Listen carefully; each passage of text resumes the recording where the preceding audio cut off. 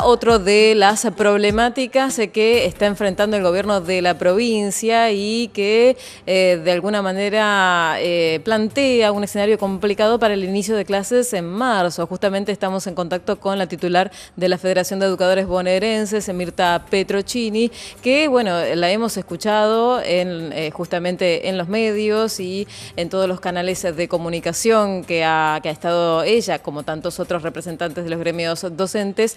Eh, con cierto sentido de pesimismo con relación al avance de las negociaciones. Bueno, ella misma nos lo va a poder decir. Petrochini, ¿cómo le va? Natalia Maugeri la saluda. Hola, buenas tardes, ¿cómo estás? Bien, muy bien. Eh, Petrochini, ¿es así? Eh, digamos, están esperando una convocatoria que no ha llegado y ya avisoran un escenario complicado para marzo. Sí, absolutamente, porque estamos solicitando la convocatoria bueno, primero en diciembre, ya para mantener una entrevista con el gobernador a los efectos de plantearle todos puntos de agenda y comenzar a discutir, obviamente, lo que es eh, la política salarial para febrero, antes del inicio del ciclo lectivo 2014. Eh, a pesar de los anuncios, no hemos sido convocados. Eh, también sabemos a través de, de, los medios de que la convocatoria va a ser posterior a la negociación eh, nacional, que es en la, eh, la que en realidad eh, fija el piso y es orientativa para después determinar las discusiones en, cada jurisdicción. O sea que todas las provincias están en esta misma situación. Ya también es de público conocimiento que bueno que los sindicatos nacionales no han sido convocados. Hay una dilación que obviamente lleva a a tener que discutir eh, ya sobre el filo del inicio del ciclo lectivo y en estas condiciones, ¿no? Donde hoy por hoy tampoco se puede determinar un número porque el número que hoy determines es corto para mañana y donde desde la FEP también eh, planteamos la necesidad de que eh, eh, un acuerdo paritario tiene que tener, más allá del número que se estime, que tiene que venir a dar cuenta claramente de un recupero de poder adquisitivo, existir una cláusula que permita reabrir cuando eh, el comportamiento inflacionario vaya en tal sentido. Ah, pero es todo, eh, hablamos sobre versiones. Todavía no tuvimos oportunidad de plantearlo en una mesa. Hoy la FEB, por ejemplo, eh, tuvimos una reunión con secretarios eh, eh, generales, donde también uno lo ha manifestado públicamente, esta intención, que son también versiones de que suponemos que darían una, una suma fija a cuenta de la futura paritaria, eso es rechazable desde todo ángulo, porque también eh, tiene que ver con nuestro ámbito de negociación, que es la, paritaria, y de esta manera se está desnaturalizando este instrumento que ha sido conquistado no sin eh, intensas luchas, ¿no es cierto? Así que, bueno, la provincia en general hoy...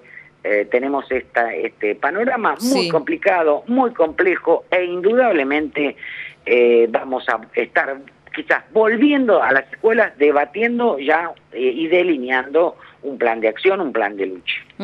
De todas maneras, eh, la posible medida que desde el Gobierno Nacional podía llegar a anunciarse, que tiene que ver con esto que usted dice, una suma fija eh, por adelantado, por algunos gremios es bien recibida en principio, a pesar de que, como usted dice, no, se, no se condice con el reclamo de ustedes, que tiene que ver con un ajuste automático en cuanto a la inflación. Sí, primero, una suma fija, puente, ¿eh? como ya vuelvo a repetir, insisto que son versiones. Sí, sí, son versiones. sí, una suma fija, puente, a cuenta de futuras paritarias. Primero pregunto, ¿de cuánto va a ser la suma? claro, claro. Fija, a cuenta de futuras paritarias. Es decir, ¿qué significa esto? Que en mayo, junio, abril, con siendo optimista, vamos a estar discutiendo esta suma Claro, claro. Ya, ya. Vamos a estar discutiendo una suma superior. A ver, ¿qué componente va a pasar a, formar en sí, el a formar esa suma, claro. Remunerativo. Eso significa que esa, hipotéticamente, en, este plano de, eh, de hipótesis, valga la, redundancia, que estamos manejando, quiere decir que estamos discutiendo en abril, mayo o junio, esta, supongo, esta misma suma como la trasladamos al salario o vamos a estar discutiendo una suma superior que dé cuenta de la pérdida de poder adquisitivo si este comportamiento. ¿Cuándo recuperamos lo eh, la pérdida de salario, por ejemplo, del año pasado, ya este, partiendo eh, octubre, noviembre, diciembre, más eh, lo que ha pasado, que también es de público conocimiento, en enero y bueno, y estos días de febrero. Tenemos que, digo, ahora se nos pide responsabilidad y prudencia. ¿Qué hacemos con nuestros salarios que no nos alcanza? ¿Eh? Es decir, se nos pide y volvemos a hacer la variable ¿eh? que va a acomodar, entre comillas, toda una situación que golpea fuertemente nuestros bolsillos. No estamos dispuestos a ceder estos derechos. Esto que usted eh, nos dice, Petrochini, tiene que ver con lo que eh, se resolvió en la reunión mantenida hoy con todos los secretarios generales de las bases de la Federación de Educadores Bonaerenses. ¿Hay un consenso, digamos, eh, prácticamente unánime con relación a esto? Sí, así lo han manifestado y así así ha sido la declaración en este en este sentido. Este, rechazamos cualquier imposición eh, que tenga que ver con decretos y que sea unilateral. Eh, seguimos eh, sosteniendo el aumento al básico, que hoy es de 1.812 pesos, una recuperación salarial este, que nos dé cuenta de, como ya te digo, de recuperar el, el poder de compra, esta cláusula que te decía de eh, poder tener la posibilidad de revisar nuestro salario y recomponerlo si se hace necesario y una convocatoria de manera eh, urgente. Porque estos últimos años, recordemos el año 2013, tanto a nivel nacional, son dos años consecutivos que viene por decreto. En la provincia se emuló eh, tal cual. La intensa lucha que dimos, logramos reabrirla eh, a, la, a, la, discusión y mejorarla. No fue lo que queríamos, pero sí mejorarla. este Y bueno, eh, esto ya la situación realmente no da para más. Bien, entonces... bueno, estamos pagando, como siempre, los platos rotos de una, de una fiesta que no fuimos invitados.